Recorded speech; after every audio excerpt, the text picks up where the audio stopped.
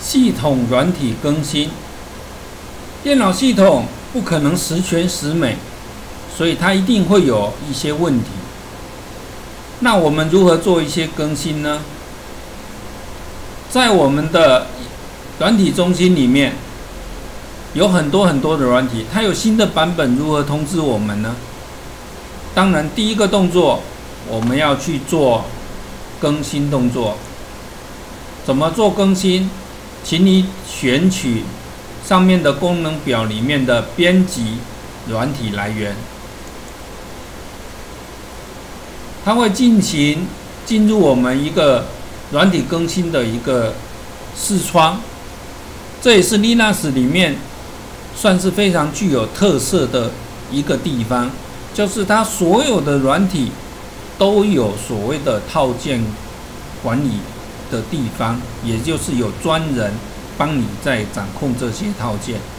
你看他这边写，我们无邦图的软体有支援这些人在支援，还有其他的软体，你自己可以增加来源。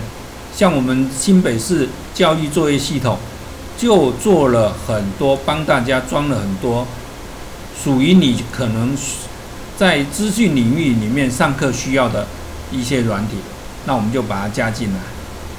也帮大家装好了。那更新，你看一下，你希望它怎么样？要不要自动检查更新？每天还是隔周？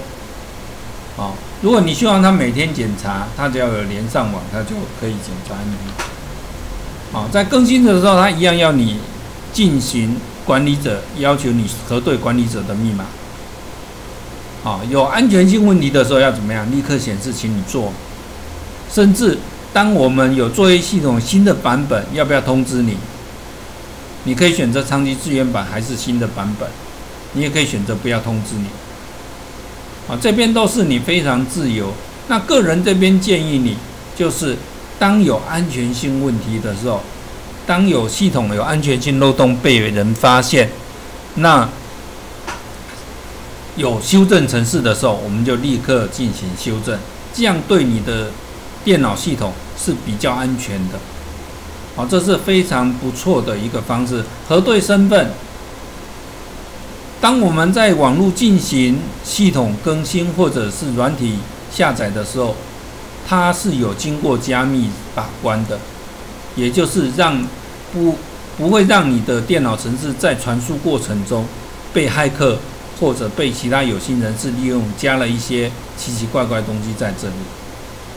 这是软体更新，这里这是额外驱动程式。如果你有一些驱动程式没有起来，可能会显示在这里。所以这里非常重要的地方，也是相当有特色的地方，值得介绍。原来我们的教育作业系统有套件员帮你管理软体的安全性，软体的套件的版本，好。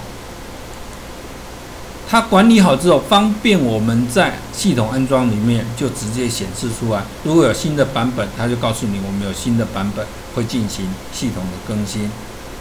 好，这是非常非常值得称赞的地方，就是我们所谓的软体更新，系统的更新也在里面。好，系统的更新也在里面。